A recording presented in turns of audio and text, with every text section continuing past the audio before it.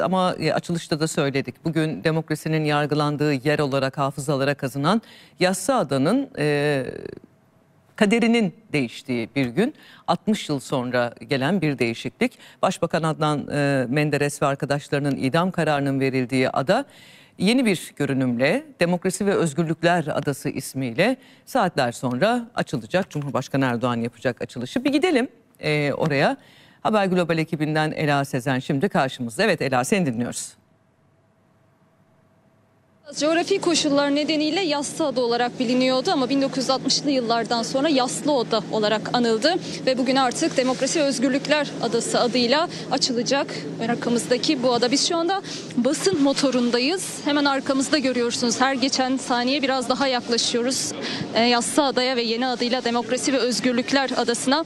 Başbakan Adnan Menderes, Dışişleri Bakanı Fatih Rüştü Zorlu, Maliye Bakanı Hasan Polatkan'ın idam kararları burada verilmişti. 11 ay süren yargılama açıklamaların ardından ve üç önemli isim bir başbakan iki bakan İmralı Adası'nda daha sonra ne yazık ki idam edildi. Biraz Yassı Adayı'nın etrafında şimdi e, dolanacağız ama dolanırken biraz size adanın da tarihinden bahsetmek istiyorum. İstanbul'un 9 adasından bir tanesi. Dediğimiz gibi coğrafi görünümü nedeniyle Sivri Ada ile karşılıklıydı ve kendisi yassı bir yapıya sahip olduğu için Yassı Ada, Sivri Ada ise daha dikeye yükseldiği için Sivriada ismini almıştı. Doğu Roma döneminde zindanların olduğu bir yerdi. Osmanlı döneminde daha çok atıl kaldı ve Cumhuriyet döneminde 1947'de Cumhuriyet döneminde e, ne yazık ki demokrasinin yargılandığı adı olarak tarihe geçti ve 1947'ye gelindiğinde Deniz Kuvvetleri tarafından satın alındı. 27 Mayıs darbesiyle kurulan mahkemelerde Demokrat Partililer yine burada yargılanmıştı. 1978 yılında Deniz Kuvvetleri tarafından boşaltıldı ada. Ancak 1993 yılında İstanbul Üniversitesi Su Ürünleri Fakültesi buraya taşındı.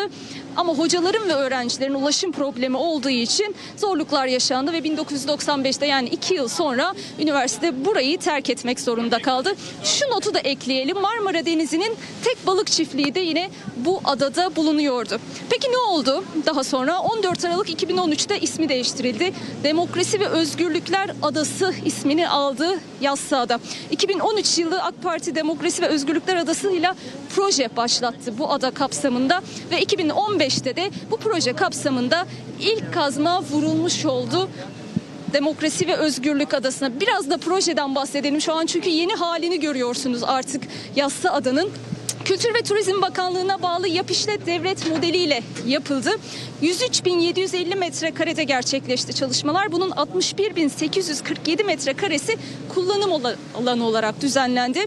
Spor salonu, eski spor salonu o e, siyah beyaz görüntülerde gözümüzün önüne gelecek 27 Mayıs Müzesi olarak Subay Garnizonu ve Yatakhanesi anı ve fotoğraf sergi salonu olarak kullanıldı, e, dizayn edildi. Şeref salonu ise bilgi edinme ve tanıtım binası şeklinde restore edildi. Bunun yanı sıra 125 odalı bir otel, 30 civarında betonarme bungalov, 6 bin kişilik konferans salonu, 200 kişilik cami, kütüphane ve seyir terası da var. Önemli bir simgesi daha var. Şimdi yavaş yavaş kameraman arkadaşım Ünsal Çekin e, motorun dönmesiyle size orayı da gösterecek. Bir fener görüyorsunuz. Biz bir deniz feneri görüyorsunuz.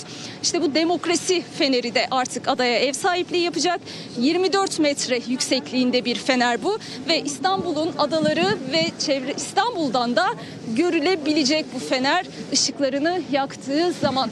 Genel olarak proje bu kapsamda ve saat 17'yi gösterdiğinde Cumhurbaşkanı Recep Tayyip Erdoğan ve MHP lideri Devlet Bahçeli'nin de katılımıyla açılmış olacak.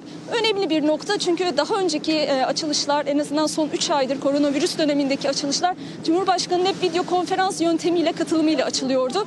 En son Çam ve Sakura e, şehir hastanesinin açılımına bizzat Cumhurbaşkanı Erdoğan gelmişti ve bugün ikinci kez de Yassı Adanın yani Özgürlükler ve Demokrasi Adası'nın açılışına gelecek. Dediğimiz gibi MHP lideri Devlet Bahçeli de bu açılışta olacak. Öte yandan Demokrat Partililerin yakınları yani burada yargılananların yakınları da yine bu noktaya gelecekler ve açılışa katılacaklar. YouTube kanalımıza abone olun.